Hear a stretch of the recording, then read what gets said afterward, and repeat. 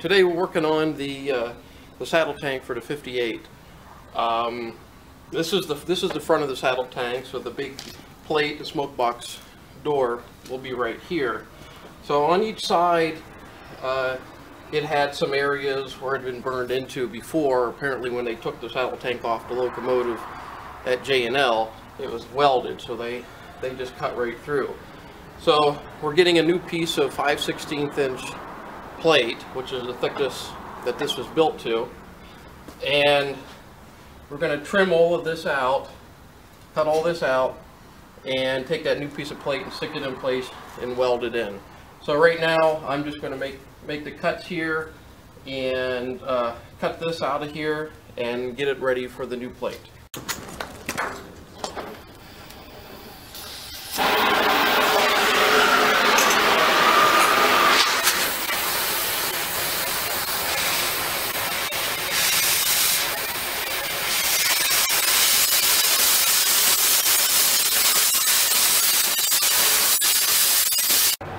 So we have this hole right here in the uh, in the tank we have to uh, fix. So what I'm going to do, I'm going to cut this out and then I have a piece of 5 16 inch plate that I made and then we'll stick it in place here and then flush weld it and grind it and probably won't no notice it. So the first thing I want to do is kind of match up where I want it to go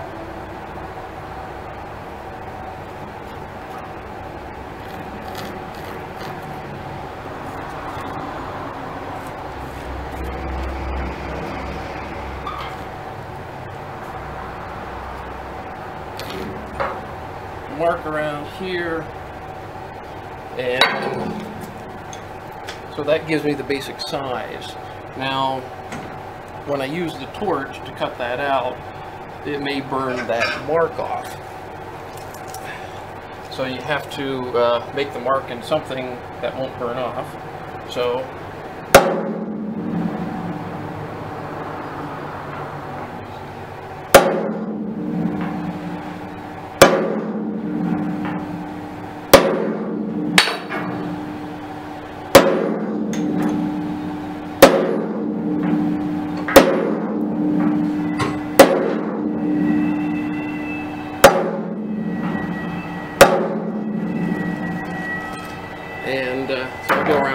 all the way around and that will uh, so when I when I cut with the torch I can see each one of these dots and then I'll be able to cut this thing straight.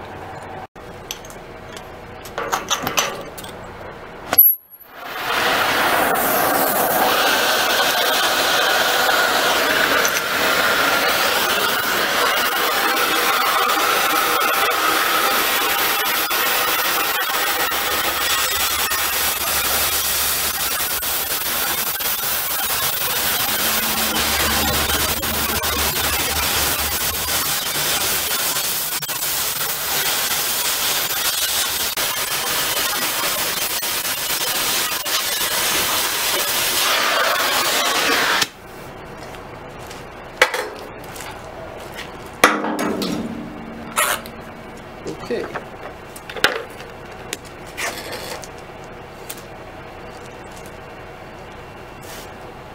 Now,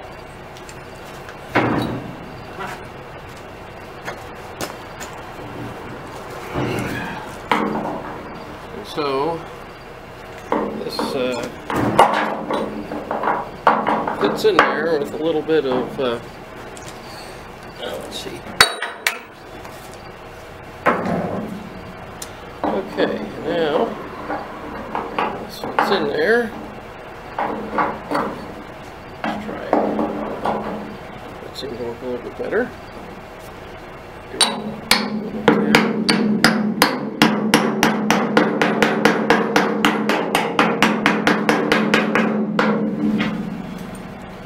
So it fits in there okay, but I'll pull this back out. I'll bevel this a little bit and so I can get a full penetration weld and then go around and weld it, grind it off, and you'll hardly ever see it.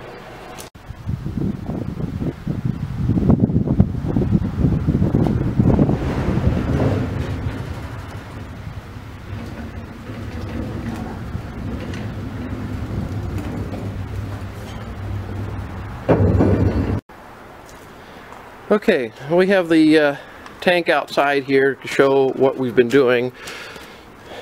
I'm cutting out the uh, these pockets for the sand boxes and that'll be all replaced by with 3 8 inch plate.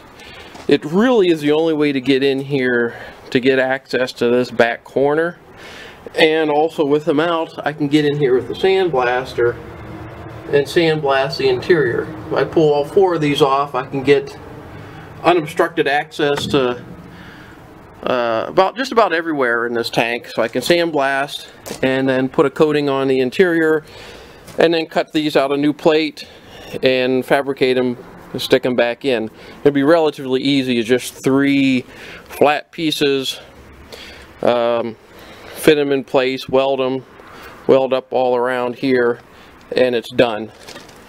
Um, we had this corner pocket here was all rotted out, so we got rid of that.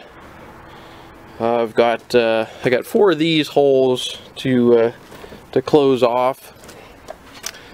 And let's see. Yeah see that shows just about what the uh, what these pockets look like.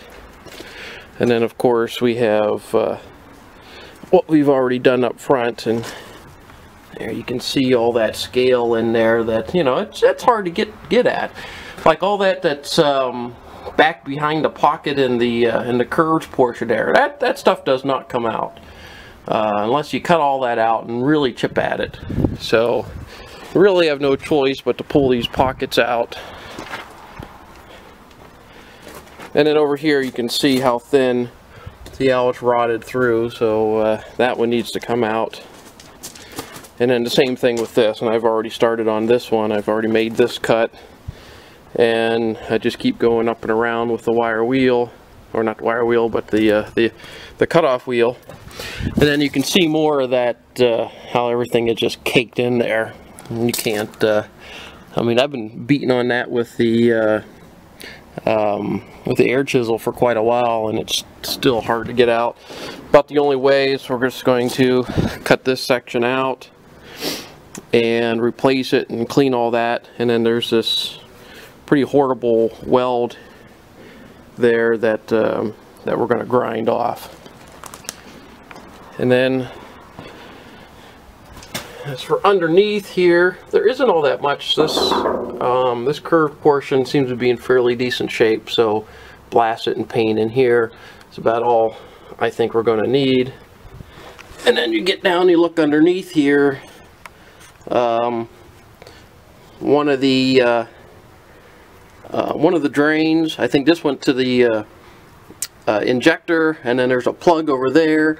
Uh, that'll go to a crossover pipe which will go down underneath the boiler and then come up into the plug on that side and basically it it uh, it equalizes the water in the leg so once you get below you know once the water gets below this level if there's nothing to equalize and depending on which injector you're using is which side you're drawing water out of so the equalizing pipe will allow the, uh, the tank to stay level on both sides. Well, that's all we have for today for this installment of the J&L 58 project. Uh, be sure to uh, like this video and, and, subscribe to our channel and uh, we will uh, be bringing more videos of the J&L 58 restoration as work progresses.